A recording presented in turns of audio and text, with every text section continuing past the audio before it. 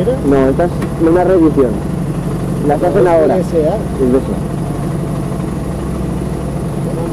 Muy buenas damas y caballeros, bienvenidos nuevamente a mi rincón, soy Caballero Motorista y hoy gracias a MGP Motos estamos de prueba de esta maravillosa BSA Gold Star 650, la cual vamos a probar a fondo a ver qué tal funciona esta maravillosa máquina de estilo clásico.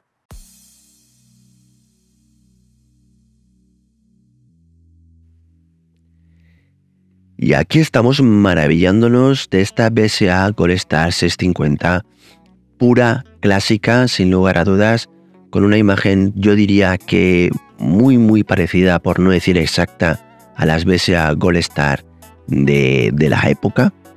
Y creo que bueno, lo- esta nueva BSA que vuelve al mercado después de muchísimos años eh, sin, sin aparecer, verdaderamente creo que solo los, los más viejos del lugar la, recordarán. Esta marca desapareció completamente del mercado y yo incluso diría que es una réplica de las Gold Stars originarias que se veían pues bueno, hace más de 50 años por, por las carreteras.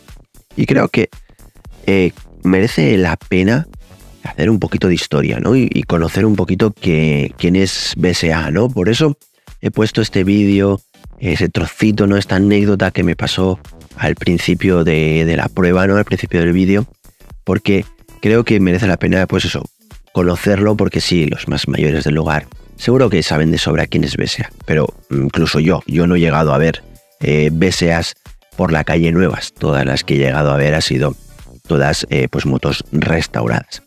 Entonces, bueno, hay que decir que cesó en 1973 la, la producción BSA, con totalmente su actividad. Eh, entonces desapareció en, pues eso, hace 50 años, ¿no? Y BSA se empezó en 1861 y la, la marca es Birmingham Small Arms Company. ¿Por qué? Porque al principio se dedicó haciendo armas de fuego, por eso esos tres rifles que aparecen en, en la moto, ¿no? en, en su escudo. Y eso, bueno, es normal y es común pues, a muchas, muchas, muchas marcas que empezaron haciendo armas.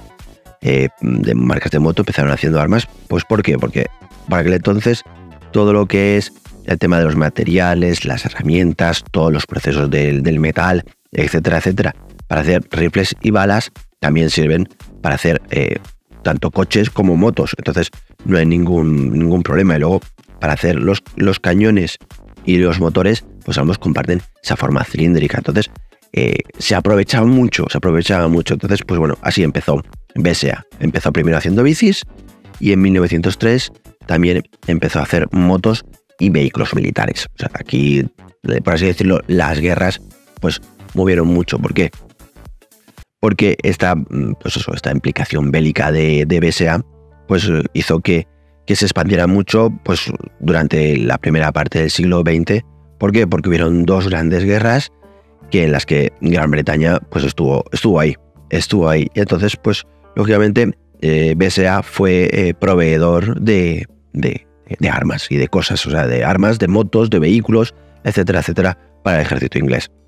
Entonces, pues bueno, todo esto hizo que BSA se convirtiera en uno de los grandes, gran, gran, gran fabricantes, a nivel, a nivel mundial, porque también llegó a proveer al ejército americano. Así que, que todo iba guay y encima las BSA ganaban carreras. Sea, tanto, en, tanto como en off-road como en velocidad, las BSA ganaban carreras. Entonces, todo iba muy bien hasta que, bueno, pues acabaron las guerras, etcétera, etcétera. Y, pues bueno, BSA entró cuesta abajo, sobre los años 50 aproximadamente, llegó a fusionarse con Triumph, pero en 1973 se acabó lo que se daba y cerró. Entonces, pues bueno, ha estado cerrada hasta que dos grandes grupos indios, Mahindra y Classic Legends, pues han querido revivir esto, han puesto todo lo necesario y la han puesto en marcha. Y a este año, en el 2023, justo 50 años, sale esta Gold Star 650 que yo diría que es una reedición totalmente de pues la versión de, de 500 centímetros que, que, se, que, se, que se hizo ¿no? de, de, de Gold Star. Yo creo que es una exacta. Entonces, claro, el concepto eh, es ese. Han reeditado, han hecho pues una, 6, una 500 moderna en 650 y entonces han hecho, pues bueno, todo, todo, todo exactamente igual a, a, esa, a esa moto. Entonces, cuesta, cuesta mucho, pues bueno, decir cuál es una y cuál es la otra. Evidentemente, hay muchísimas cosas que son modernas. Los frenos, pues pequeñas cositas que te vas fijando. También, por ejemplo, el motor está refrigerado por agua, aunque parece que está refrigerado por aire. Tiene el motor de arranque eléctrico. Todo eso, todo eso. ¿Por qué? Porque creo que, que eh, pues la nueva BSA pretende que tengas una moto clásica, pero sin ningún tipo de problema de las motos restauradas eh, y con muchas cosas modernas pero sin ser, una neo retro ni nada por el estilo. Entonces yo creo que, que ahí, pues bueno, BSEAT juega, juega sus cartas. Juega sus cartas de una manera pues muy, muy buena y la verdad que, pues bueno, una, una jugada muy, muy, muy interesante. Evidentemente, eh, tiene que darse a conocer, pues bueno, a la gente más joven, porque lógicamente la gente más joven no la conoce, pero poco a poco se irá haciendo camino y si te escaja la estética, y, pues bueno, ciertas cosas que tiene, ¿no? Porque creo que llega ya después de haber visto la historia, etcétera, etcétera, llega el momento de verla, pues bueno, con detalle, viendo pues los, los acabados, las calidades, etcétera, etcétera. Pues bueno, ya conociendo la marca, viendo que el diseño, pues bueno, es diseño 100% clásico y que, bueno, yo lo que como decía, es una reedición, es volver a ver una BSA antigua pero sin, sin, necesidad de que esté restaurada y creo que es lo que a lo mejor busca el cliente ¿no? de, de estas BSA, es tener una moto moderna, o sea, con componentes modernos, pero con estilo clásico al 100%, ni neo retro, ni nada por el estilo. Pero claro, todo esto tiene unos, unas contras que, bueno, pueden jugar a favor o pueden jugar en contra, a nivel de ajustes, etcétera, etcétera. Por ejemplo, hay algo que te va a llamar, te va a sorprender y es, por ejemplo, las soldaduras.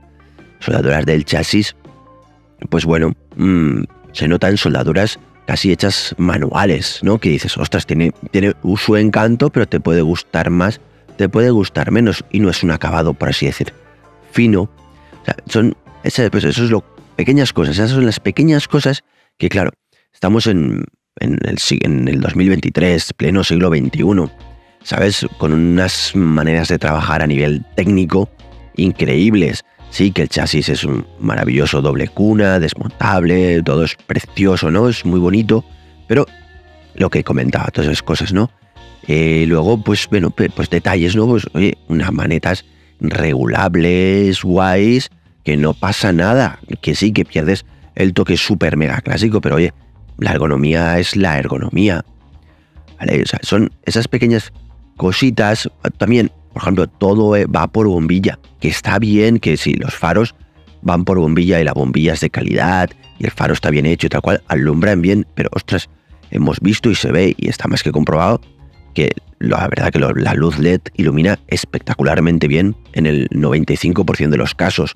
Pocas veces te encuentras una iluminación LED eh, que, ilumine mal, que sí que es más barato de mantener la bombilla, se funde, quitas una y pones otra, pero Mm, no sé, pequeñas cositas que sí que podrían ayudar a, bueno, pues bueno, que el, nivel fuera un poquito más alto a nivel de, de, calidades, ¿no? Por así decirlo, ¿no?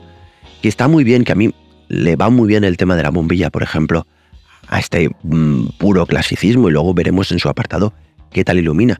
Pero, oye, no sé, un poquitito más, un poquitito más no sé, porque todo, todo, todo, todo acompaña. De todas maneras, es que tú la ves, las formas del motor, a pesar de estar refrigerado por, por agua, las formas del motor son exactamente iguales a, todo, ¿no? A, cómo era eh, aquella moto clásica, ¿no? Que es un gran monocilíndrico. Pero, por ejemplo, la pegatina, ¿no? Ostras, podía incluso yo estar la pegatina un poquito mejor puesta, o lacada, o incluso, oye, grabadito los, los tres, los tres los tres rifles, que le daría un toque, quizás incrementaría el precio, pero ostras, son pequeños toques que darían eh, pues bueno, más calidad o más aspecto, más, más empaque a la moto en líneas generales. Por lo demás, la moto está, está bien, está bien, pero por, como, decía, la escala de calidades y de ajustes a día de hoy está muy, muy alta. exigimos todos mucho y en el primer golpe no hace falta, pues sí que notas que dices, ostras, no está al nivel tope, tope, tope. Pero bueno, las piñas son las piñas clásicas, la distribución clásica de, esto tienen un tacto normal, están bien. Lo que sí que me ha gustado y lo comentaré en, el, tema de la instrumentación, pues que tienen un botoncito de información para las pequeñas pantallitas, pequeñitas pero de buena visualización, todo sea decirlo, que hay en, en los paneles de control, de toque muy clásico y también con una posición muy clásica, quiere decir que están muy bajos y que bueno, ya os lo diré, pero cuesta un poquito de ver eh, en marcha porque tienes que bajar mucho la mirada para, para verlo. Por lo demás, todo bien, mm, todo con, con un tacto muy, muy, muy sólido, pero pues bueno, no está en el tope, por así decirlo. luego hay una, cosa, un detalle, que es las tomas de, USB que las han colocado ahí en el manillar Mm, que parece que las, como si las hubieras colocado tú de manera auxiliar, pudiendo haber eso pulidolo un poquito más, buscando un lugar un poquito más fino, más tal, más cual, para no romper eh, esa estética tan, tan clásica. Hay sitios donde poder camuflar esas tomas USB para que no te os molesten la visión ¿no? de, de, la, del diseño tan puramente clásico, ya que el, el, el, depósito de combustible con esa forma de gota tan bonito, con el escudo de BSA, con unos colores muy bien elegidos por parte de BSA, ese asiento completamente plano, con el pespunte, con el cordón blanco, perdón, con esa banderita inglesa, etcétera, etcétera, etcétera. Luego, esta unidad la gente de MGP Motos me la ha cedido con los herrajes de la poderosa para poder viajar y poder poner unas preciosas eh, maletas pues de cuero, etcétera, etcétera, que van a gusto del consumidor, pero bueno, le dan un toque y también te, te dan la idea de que es una moto también capacidad para viajar.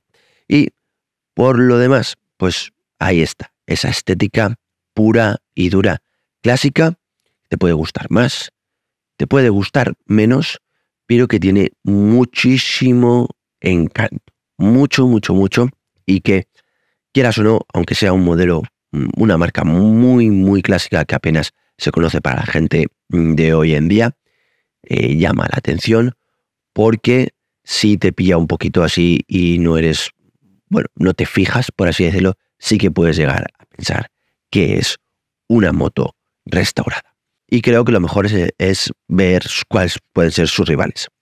La Benelli Imperiale 400, la Kawasaki W800, la Motron Warrior 400 y la Royal Enfield Interceptor 650. Dos de ellas han pasado por el canal, así que las probaremos, veremos en el apartado en comparación con qué tal juegan en esta división. También todo hay que decirlo y creo que esta vez sea, lo merece decir, es que es un pensamiento totalmente clásico. Creo que estamos jugando en una división de clasicismo en todo y es el que busca una moto de aquel entonces sin los problemas de una moto restaurada. Y ahora sí, vamos a echarle un vistazo rapidísimo a la ficha técnica. Y vamos a echarle un vistazo rapidísimo a la ficha técnica. El motor tiene una cilindrada exacta de 652 centímetros cúbicos, es un monocilíndrico de cuatro tiempos con cuatro válvulas por cilindro que ofrece una potencia de 45 caballos a 6.500 vueltas, un par máximo de 55 Nm a 4.000 vueltas. El chasis es de estructura tubular con doble cuna desmontable. La suspensión delantera es una horquilla telescópica de 41 milímetros. La suspensión trasera es un doble amortiguador con ajuste en precarga de cinco posiciones. El freno delantero es de Brembo con un solo disco de 320 milímetros y una pinza flotante de dos pistones. El freno trasero también es Brembo de un solo disco de 255 milímetros y una pinza monopistón. Eh, la llanta delantera es 190-18 en unas preciosas llantas Excel. La rueda trasera es una 150-70-17 también en unas preciosas llantas Excel de radios. Las dimensiones son una distancia entre ejes de 1425 metros, una altura del asiento de 330 metros, una capacidad de depósito de 12 litros y un peso en orden de marcha de 213 kilos. El consumo homologado es de 4 litros a los 100. Y vamos a ver la instrumentación puramente clásica de esta BSA 650. Y bueno, es tan clásica que tiene dos esferas en las cuales eh, completamente analógicas. En una tienes la velocidad, en otro las revoluciones eh, de modo inglés, van completamente al revés, pero de una visibilidad muy, muy, muy clara. No tiene ordenador de a bordo, eh, solo tiene una pequeña pantallita donde te marca el nivel de gasolina y luego mediante un botón en la piña de la derecha puedes cambiar el trip 1, trip 2 y el odómetro. Y se acabó. Y algo muy curioso, muy bonito, es la esfera que hay justo eh, en el faro donde están todos los testigos luminosos. Verdaderamente tiene una visión muy buena, se ve bien, se ve muy bien, pero creo, y luego en marcha lo constataré, creo que hay que bajar un poquito demasiado la mirada para verlo bien. Pero es un pequeño detalle que luego, pues bueno, constataré.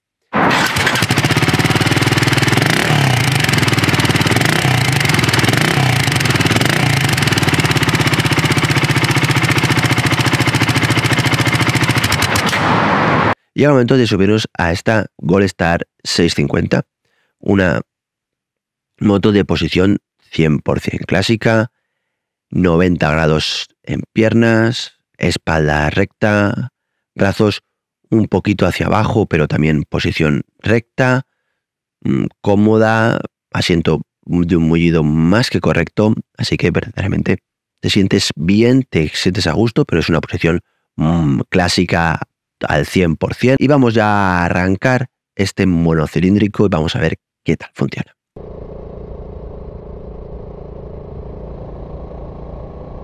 Ya estamos en autovía y autopista con este ritmo de pistonadas del motor de la Goldstar 650 de procedencia Rotax que funciona extraordinariamente bien. Te sientes muy a gusto en estas vías con este, con este motor y creo que ya de, de entrada da la sensación de que es una moto honesta. Esta es una moto que es lo que hay. O sea, lo que hay es lo que ves y ya está. O sea, es va de frente y, es una moto muy muy honesta. ¿Qué quiero decir con esto? Pues que es un modelo clásico de, lo más auténtico, ¿vale? Y que no tiene que ver nada que ver con motos neo-retro, ¿no? Pues yo creo que, como decía eh, anteriormente, es, es, el concepto es el que quiere una moto clásica genuina, pero sin las complicaciones de una restauración. Y ya está. Y dicho esto, es, quizás lo volveré a repetir una vez que otra durante la prueba, pero dicho esto, aquí te sientes, pues bueno, la posición ergonómica es cómoda, yo no me siento, no noto ningún tipo de molestia, no hay nada que me moleste, ni en las piernas, ni nada por el estilo. La posadera es cómodo y es una posición muy cómoda. Una posición muy cómoda, el motor responde muy bien, el aire sí es todo para, para ti, pero bueno, yo estoy acostumbrado a ello y creo que mm, la moto alcanza de una manera muy bien los 120 km por hora y el aire pues no me resulta excesivamente molesto, aunque al llevarlo todo al pecho, todo al cuerpo, pues bueno, sí que requiere un poquito de acostumbrarte pues ese pequeño tirón que el aire te eh, lleva para atrás. Pero por lo demás, la moto es cómoda, las suspensiones absorben muy bien todo y te manejas muy bien, además gana muy bien la velocidad. La moto en quinta responde muy bien y bueno, alcanza los 120 con soltura, moto responde, es todo par, es todo empuje y te mueves muy a gusto y muy bien con ella. Además, tiene mm, la suficiente fuerza, ¿no? para recuperar muy bien en quinta, sin necesidad de meter cuarta ni nada por el estilo, debido sobre todo a ese poderoso empuje, a pesar de que la quinta marcha es una marcha larga, porque alcanza los 120, pues bueno, con suficiente soltura. Así que la moto se mueve bien, mm, te mueves a gusto, no, no hay nada que te impida. Eso sí, eso sí, hay que decirlo, la moto, pues conforme vas ganando revoluciones, pues vas notando ciertas vibraciones. Que reconocer que no son vibraciones molestas. No, no, no molestan, pero están. Aparecen sobre todo, empiezas a notarlas en los espejos retrovisores, es decir, que sí que ves que tienes un coche detrás, sí que puedes calcular la distancia a la que se encuentra, pero te es imposible saber de qué marca es. Es decir, si tienes un coche detrás, pero no sabes si es un Volvo, si es un Ford, si es un Peugeot o es un Ferrari. Sabes que lo tienes ahí detrás de las vibraciones que. Luego, pues las vibraciones sí que se van haciendo un poquito más notables conforme vas subiendo en la escala del cuenta revoluciones. Y sobre las 5000 pues bueno puedes llegar a notarlas un poquito más pero es que estamos ante un monocilíndrico de 650 centímetros cúbicos, que claro, las vibraciones tienen que estar, pero en ningún momento yo creo que sean molestas, ni en ningún momento en ese sentido yo ningún tipo de hormigueo, ni en brazos, ni en piernas, nada por el estilo. Simplemente son, pues bueno, algo que, que está, que lo notas, pero no, no resulta molesto, ni nada por el estilo. O sea que están muy bien camufladas, muy bien mitigadas y por así decirlo, no son molestas.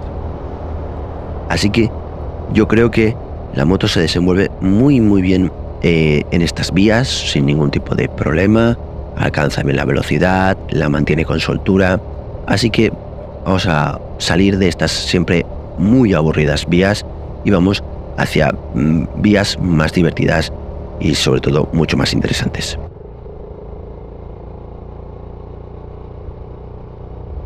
y vamos hacia las vías secundarias donde nos vamos a divertir sí o sí, siempre y cuando tengamos el chip, como decía, de que vamos una moto con un estilo clásico y un funcionamiento clásico con un, con un motor monocilíndrico potente, grande.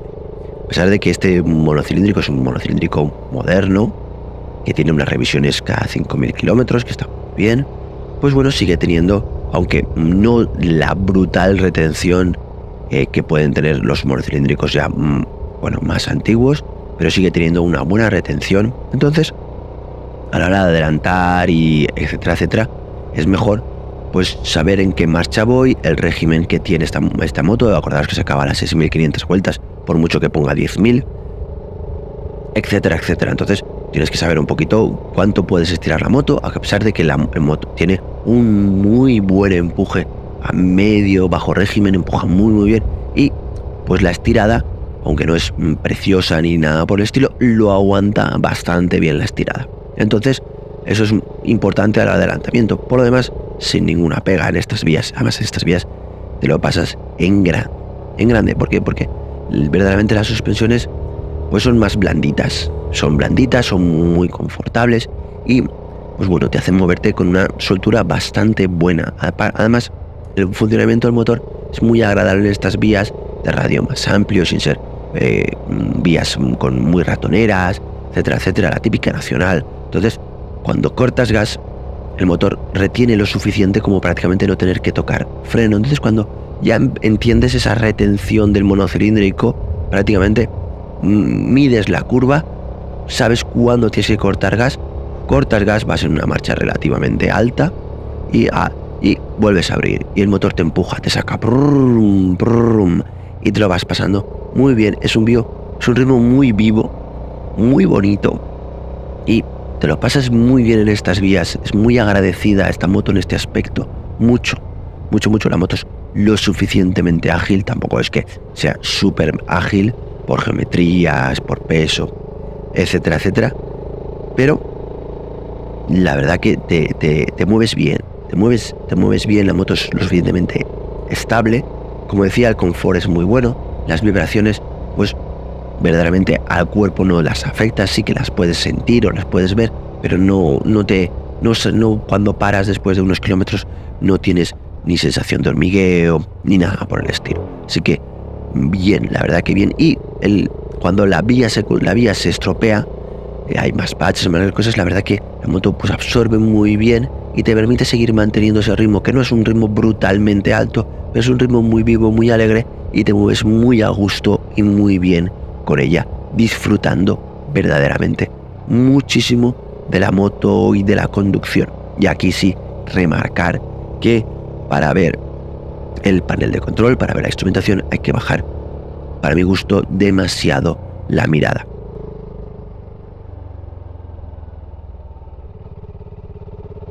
Y llega el momento de las curvas. ¿Y cómo es esta moto en curvas? Pues si quieres ir rápido, rápido con ella, vas a notar que tiene sus inercias, que tiende a abrir la, trayectoria, que pues bueno, las suspensiones son blandas, que, te, que tienen bastantes vaivenes, etc.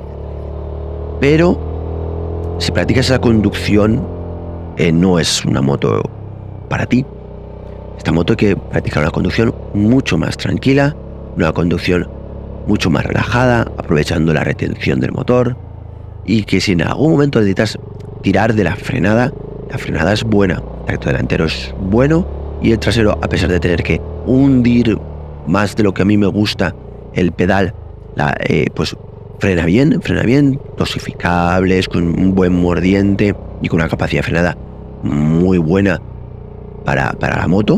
O sea que la verdad que frena muy bien, pero no es necesario estar apurando la frenada ni nada por el estilo, simplemente anticipalo todo, practica una, una conducción más relajada y sobre todo busca la marcha correcta. La marcha correcta posiblemente sea una marcha más que la que a lo mejor puedas tener en tu cabeza.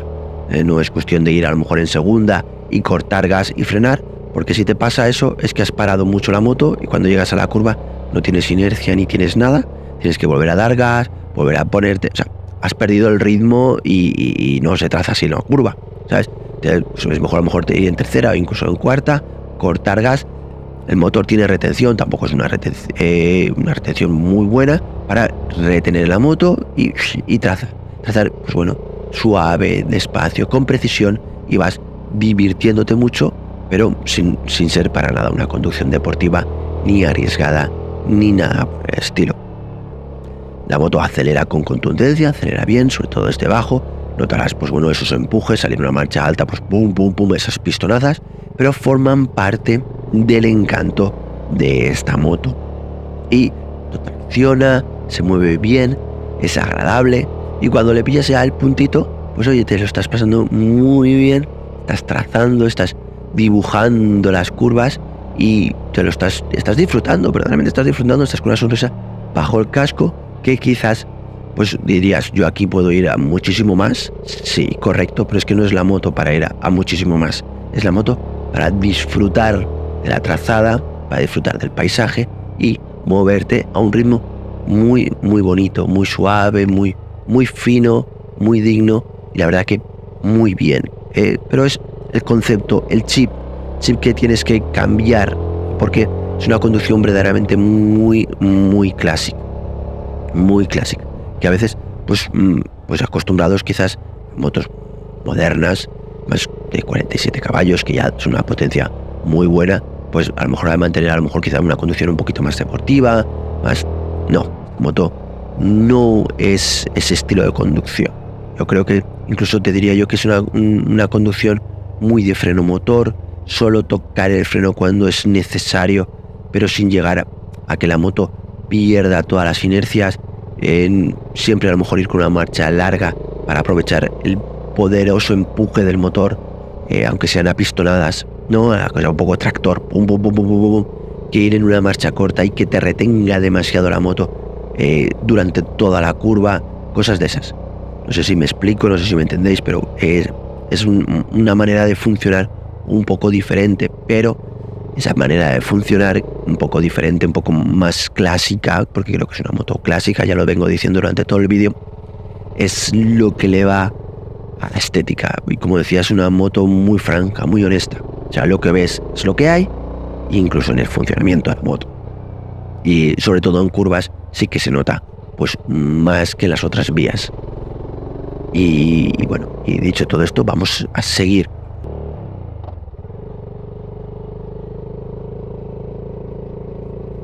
viajar, viajar con esta BSA se puede, es muy bonito y seguro que se puede disfrutar muchísimo debido, pues bueno, ya habéis visto que tiene unos herrajes para poder colocar unas maletas, unas bolsas y viajar al fin del mundo. Yo creo que esta moto a un ritmo de 90-100 en el cual el motor no vibra.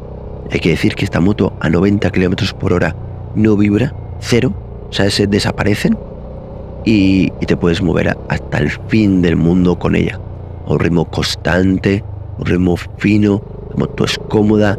Yo creo que esas velocidades el aire no molesta absolutamente para nada, no rompa la estética poniendo una cúpula ni nada por el estilo. Y yo creo que el confort es total. De asiento, como de brazos, como de piernas, yo me he sentido bien, he sentido a gusto en líneas generales. Lo único quizás que esos 4 litros que dice la marca que consume, pues yo quizás a lo mejor no creo ni me considero que haya practicado una conducción deportiva con esta moto, ni muchísimo menos, pero ha estado por encima de los, de los cuatro, cuatro y medio, incluso yo diría que acercándose a los cinco, un poco más o menos, poco más o menos, yo diría que ha, estado jugando en, en esa franja mm, y yo no he practicado en ningún momento una conducción deportiva ni nada por el estilo. Digamos que sí, han sido condiciones de, de prueba, entonces pues bueno, siempre son un poquito diferentes. Pero bueno, yo os lo comento y ya está. Así que en líneas generales yo creo que es una moto que se puede viajar y se puede llegar muy lejos con ella porque es una moto con unos componentes modernos, actuales, que no tiene por qué dar ningún tipo de problema eh, a medio corto plazo mejor a largo plazo, pues bueno, como ya sabemos, el tiempo es el que es el, el, juez ¿no? de estas cosas, de estas marcas que vuelven a introducirse en el mercado o que se introducen en el mercado y que tienen que demostrar algo que se llama fiabilidad, pero la fiabilidad siempre, siempre es algo que lo demuestra el tiempo y no lo puedo demostrar yo en una prueba.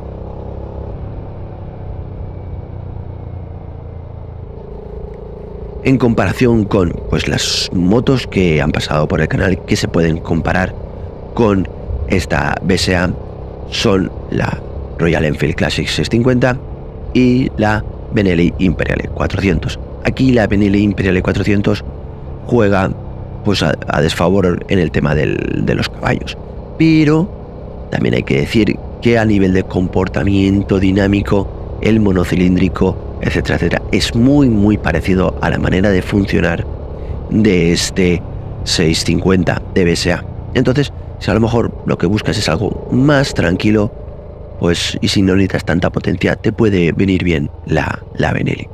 Por lo demás, la que sí que es más comparable es la Interceptor 650, que ambos comparten pues ese carácter clásico al 100%, quizás el funcionamiento es bastante más mm, moderno a la hora de funcionar, entenderme ese moderno eh, que de la Royal Enfield que el de la BSA.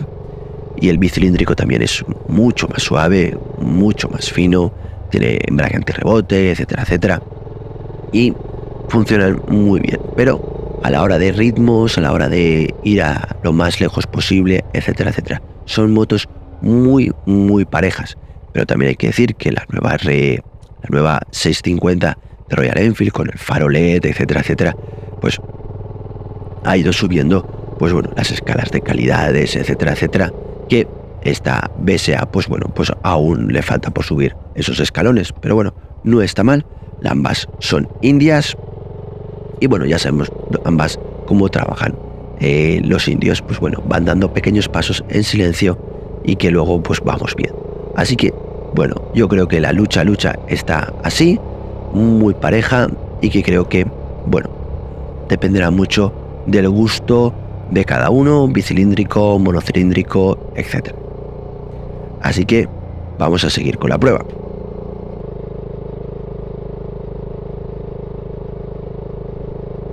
Llega el momento de poner a prueba eh, la iluminación de esta BSA Gold Star 650 con su faro clásico de iluminación halógena. pasado muchos faros también de iluminación halógena y bueno, todos más o menos tienen los mismos pros y las mismas contras. Y bueno, hay que decir que la luz corta, para mi gusto, se queda se queda corta, sobre todo en amplitud y un poquito en profundidad, no para nada en intensidad. En intensidad hay que reconocer que es una intensidad buena y luego también me ha gustado muchísimo que tienen ese toque amarillento, no es tan blanca o tan ese punto que no llegan a ser casi azules, ¿no? De la, de la luz LED, lo cual a mí es una luz que me, que me gusta mucho porque me cansa menos también la vista. Pero bueno, eso llega al momento de la, de la iluminación corta. Ponemos la iluminación larga y bueno, como faro halógeno, se enciende la larga y se apaga la corta. Pero esta larga verdaderamente me ha parecido muy buena. Me ha parecido muy buena. Es amplia, es intensa y es profunda. O sea, lo tiene todo lo que tiene que tener una, luz larga. Quizás, pues bueno, la zona que eh, quedaría perfecta, ¿no? Se queda en penumbra, que es la zona que ilumina un poco más o menos la luz corta. Pero la verdad que funciona muy bien esta luz larga, incluso en curvas. Curvas, su amplitud es tan buena que te permite ver bastante bien la curva en sí. Así que, oye, me ha gustado mucho en ese aspecto la luz, la luz larga. Y la corta, pues bueno, podía ser un poquito mejorable. A lo mejor quizás si buscamos una bombilla diferente o buscamos ajustar un poquito el faro o cualquier cosa, podemos llegar a tener una luz corta pues un poquito mejor. Yo es que le he echado sobre todo amplitud y un poquito de profundidad. Pero bueno, por lo demás, oye, para ser un, faro halógeno, ha cumplido bastante. Así que seguimos, seguimos probando esta fantástica BSA.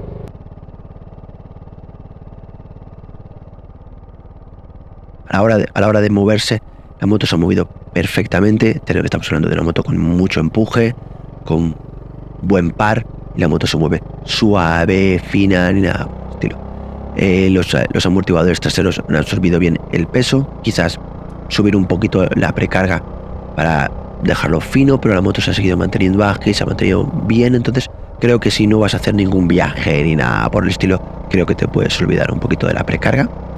Pero bien, o sea, me ha, parecido guay porque eh, la, la, moto en sí es muy confortable de suspensiones y pensaba yo que cuando iba a subirse el acompañante se iba a hundir mucho, pues no, se ha hundido suficiente lo justo, pero yo creo que no es necesario andar jugando con la precarga cada vez que se sube el acompañante porque lo absorbe muy bien y a no se puede hacer un viaje muy largo o cualquier cosa, ningún. Pero bueno, como siempre, lo importante de este apartado es lo que dice el acompañante. Hola a todos, soy el acompañante de caballero motorista en esta prueba de la BSA Gold Star 650. Pues bien, la primera impresión es que esta moto era una moto de la que se podía subir y bajar perfectamente, es una moto bajita en la que el copiloto, el, acompañante, está sentado en, a la misma, al mismo nivel que el, que el conductor. Es un asiento mullido, cómodo, y que yo creo que se puede ir perfectamente largos trayectos encima de esta moto. Cosas a destacar es que no tiene agarraderas, ¿vale? Por tanto, te, tienes que coger al conductor y que en este modelo venía con una mochila incorporada de, eh, de, maleta, de, de prueba, y bueno, pues aunque a mí no me molestaba porque prácticamente iba vacía, es cierto que sí que mm, recomendaría no rellenarla hasta arriba o de cosas punzantes porque sí que te puede rozar en las piernas, ¿vale? Pero por lo demás eh, yo creo que es una moto estupenda eh, para viajar en ella y para el día a día para el acompañante.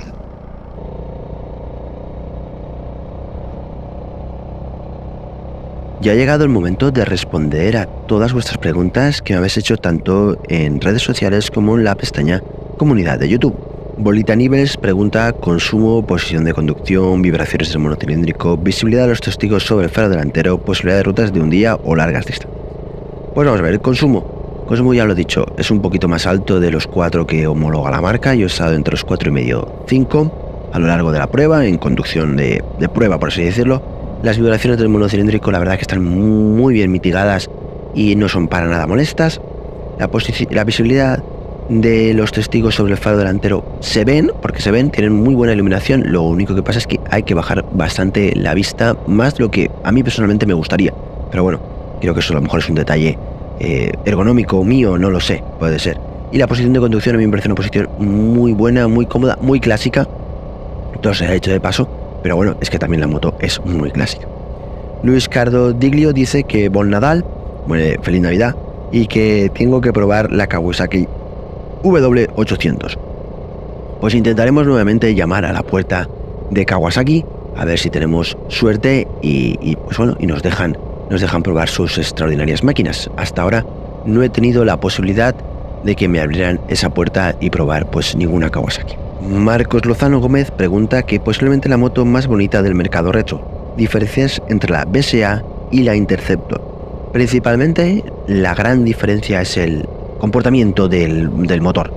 El monocilíndrico tiene un comportamiento, mm, pues bueno, de monocilíndrico grande y es bastante menos fino para una conducción, pues a, lo mejor más moderna a la que estamos acostumbrados todos, ya que la, pues bueno, el monocilíndrico requiere pues pillarle el punto. Aparte, yo creo que es una conducción bastante más clásica la de esta BS. Castillo 7 Oberlander dice de pregunta no, anécdota. ¿Sabías que las fabricaban armas también? Que la A es de ARMS, jejeje. Pues bueno, hasta que no estudié eh, todo el tema de la historia de BSA, pues no lo sabía, la verdad. Eh, Castillo Sito Grande, gracias por el apunte.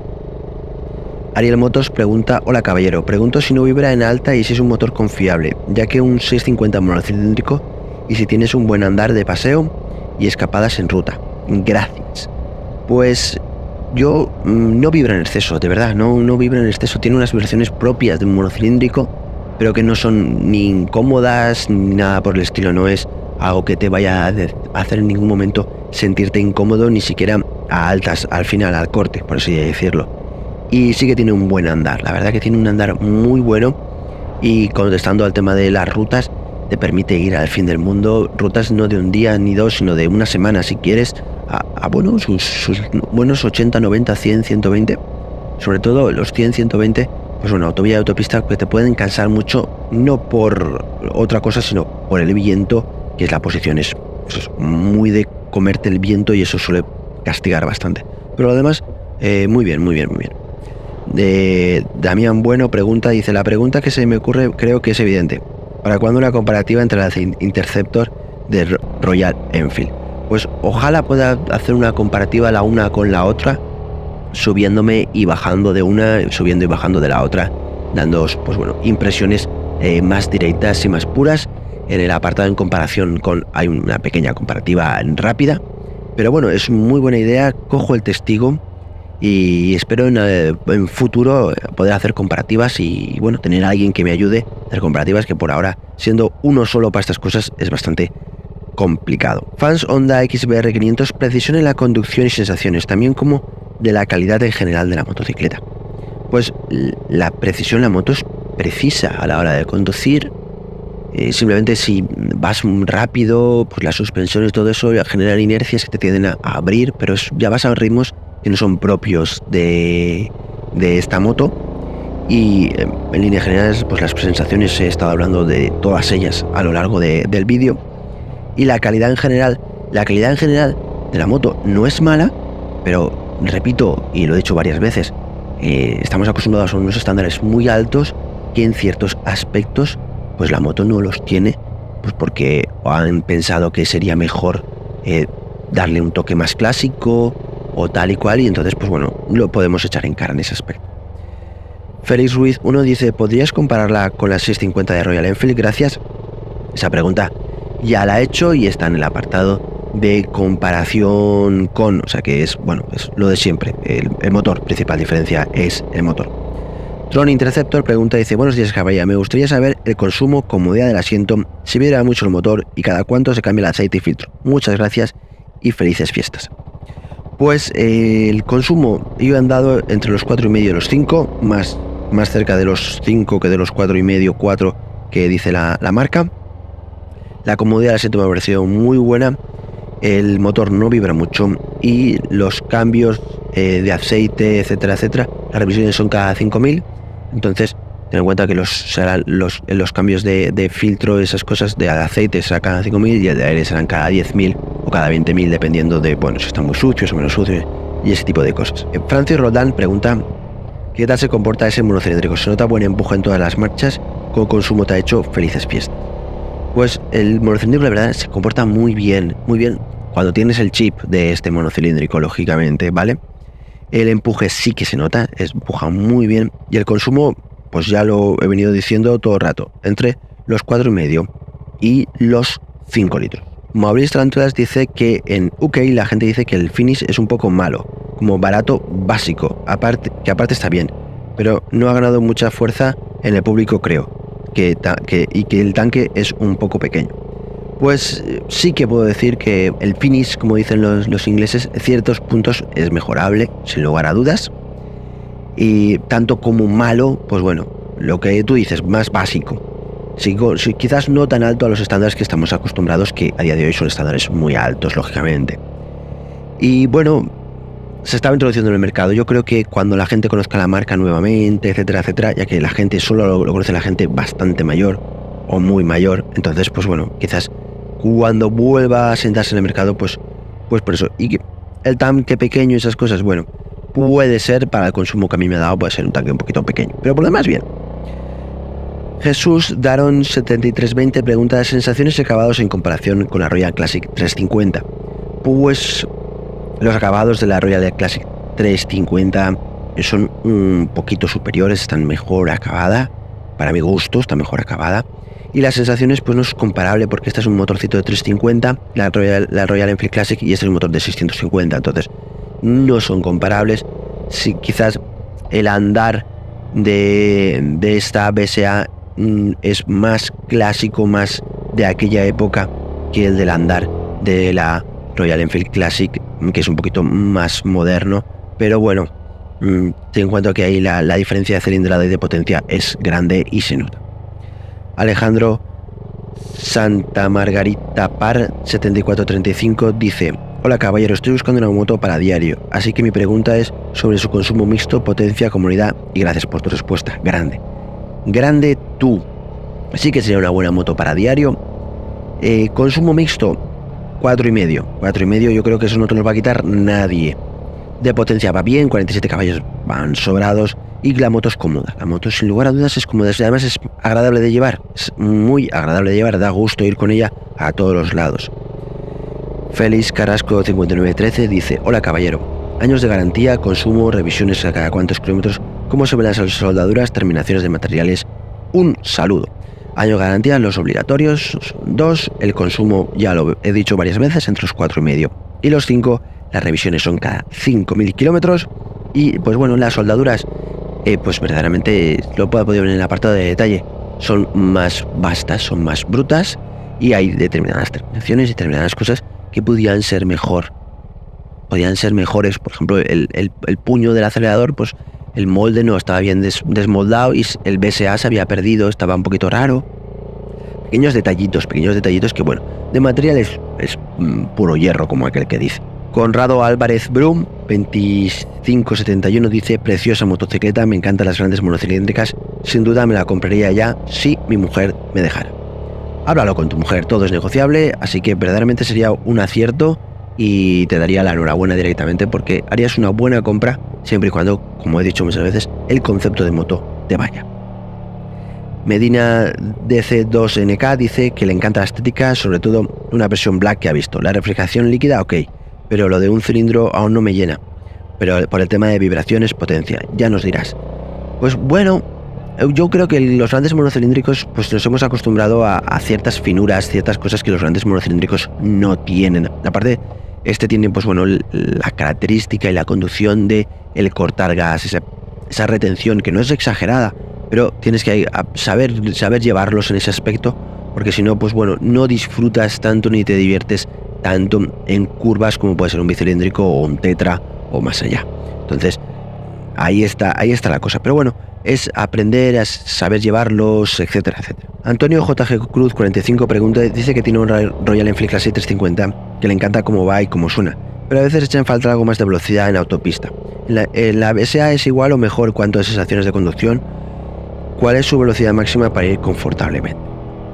Pues bueno, la BSA es muy parecida ¿eh? cuanto a sensaciones de conducción, simplemente tiene ese plus de potencia que le da esa velocidad máxima confortable de los 120 sin ningún tipo de problema en autovía y autopista. Entonces es ese plus que tienes, nada más. Por lo demás, eh, pues el peso y esas cosas, pues bueno, sí que se notan en la BSA, no tanto se notaban, o yo no las noté tanto en la clase.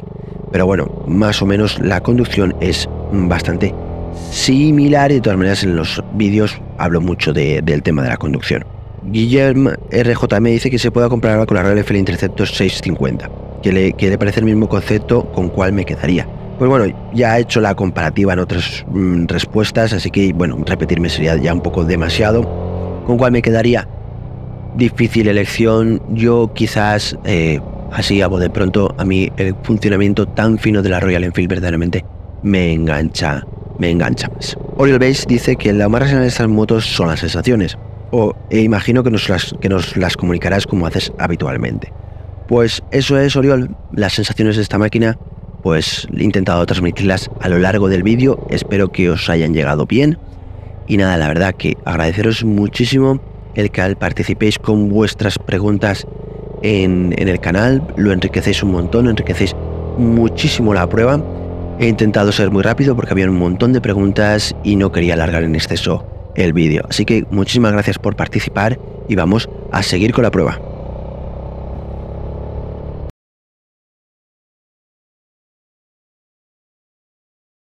y llega el momento de la ciudad.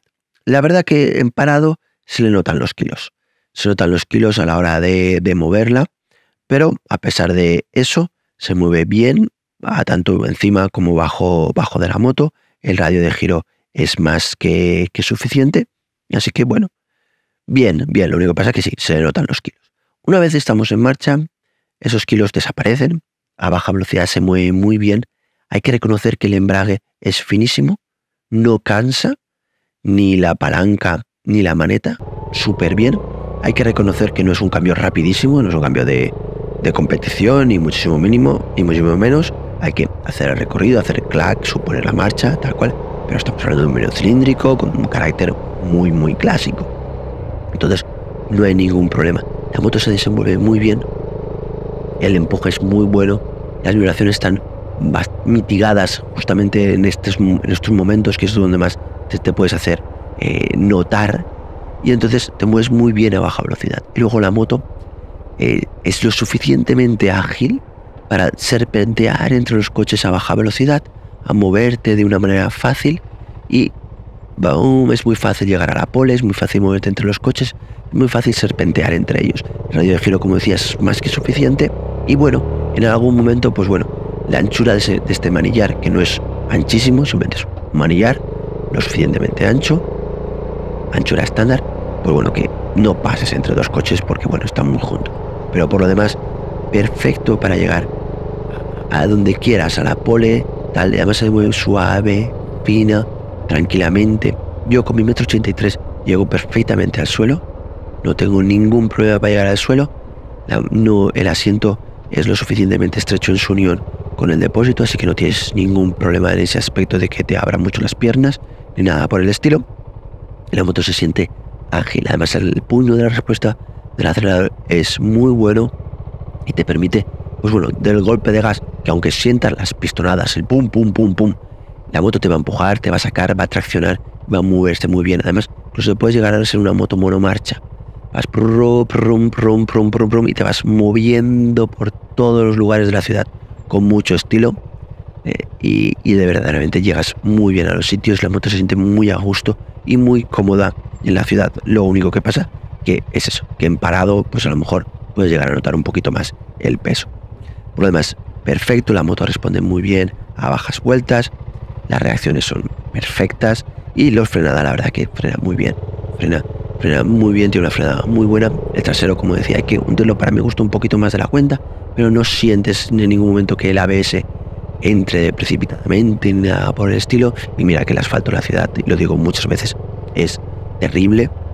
Y luego también está el confort de estas suspensiones, pues que hacen que los retenedores de velocidad, etcétera, etcétera, pues los badenes los pases con muchísima comodidad y sin ningún tipo de golpe ni nada por el estilo en las lumbares.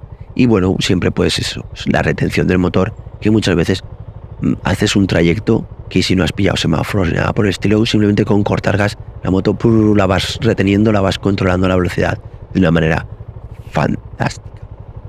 Así que genial, genial, genial. Y luego, sorprendentemente, claro, la moto no emite apenas calor, porque claro, es una moto que tú la ves y tiene una estética eh, de motor refrigerado por, por aire, pero está refrigerado por, por agua. Y sí que puedes notar a lo mejor eh, los, los electroventiladores encenderse y esas cosas, pero no sientes en ningún momento exceso de calor bajo ninguna circunstancia. Así que en ese aspecto, la verdad que muy, muy, muy bien. Ya ha llegado el momento de concluir. Y bueno, esta BSA, como he dicho varias veces a lo largo del vídeo, es sin duda alguna, por estética, por comportamiento, etcétera, etcétera, una auténtica reedición de las antiguas BSA y que sin lugar a dudas hacen que el que la busque, pues eh, busque una moto igual que las que estaban en aquella época, pero sin ningún tipo, sin ningún tipo de problema que pueda venir desencadenado pues de una restauración o de una moto pues con muchos años a, cuestas. Que sea simplemente arrancar y listo y encontrarte pues con un comportamiento a nivel de frenos etcétera etcétera pues más que correcto más que bueno y eh, por así decirlo actual. Que creo que es algo importante y posiblemente eso es lo que busca sin lugar a dudas BSA con su llegada al mercado. De pues eso mm, hacer que el que quiera, el que busque este tipo de moto, lo pueda encontrar y como siempre, siempre hay eh, mercado para, para todo. Ese es mi entender. La moto, pues bueno, está bien, tiene ciertas cosillas a nivel de ajustes, nivel de calidades, etcétera, etcétera, que se les puede perdonar o no debido a su filosofía o idiosincrasia a la hora de traer la, la moto, como he comentado anteriormente, pero creo que en, la época en las que estamos, esas pequeñitas mejoras de ajustes y calidades, pues le vendrían muy bien, ya que el mercado aprieta, aprieta sin lugar a dudas, y de cierto modo estamos todos acostumbrados a un estándar bastante, bastante alto, y que ciertas cosas, si ciertas cosas no lo cumplen, pues bueno, lo, se lo tenemos.